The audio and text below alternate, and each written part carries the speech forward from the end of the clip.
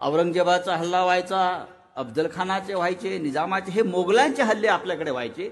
औरंगजेब सत्तावीस वर्ष महाराष्ट्रात लढत राहिला. याचं कारण असं आहे जर तुम्ही इतिहासात गेलात छत्रपती शिवाजी महाराजांचा जन्म या महाराष्ट्रात झाला. छत्रपती शिवाजी महाराजांचा जन्म महाराष्ट्रात झाला म्हणून महाराष्ट्राला इतिहास आहे. आणि हा जो औरंगजेब आहे त्याचा जन्म गुजरातमध्ये झालाय पहा इतिहास.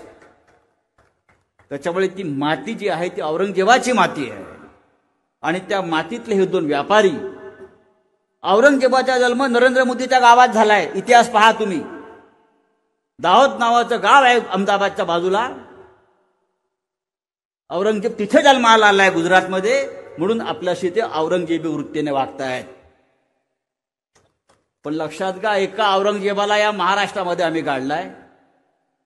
सत्तावीस वर्ष तो औरंगजेब महाराष्ट्र जिंकण्यासाठी लढत होता.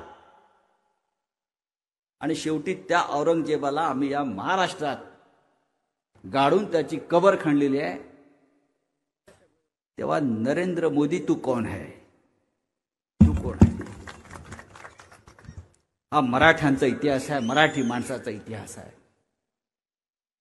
तुम्ही जेवढे आमच्या अंगावर आहे तेवढे आम्ही उसळून उठू.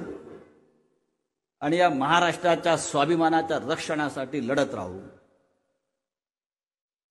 आणि आता चार जून ही तुमची डेडलाईन आहे. चार जून नंतर हा देश मोदीला विसरलेला असेल लक्षात घ्या.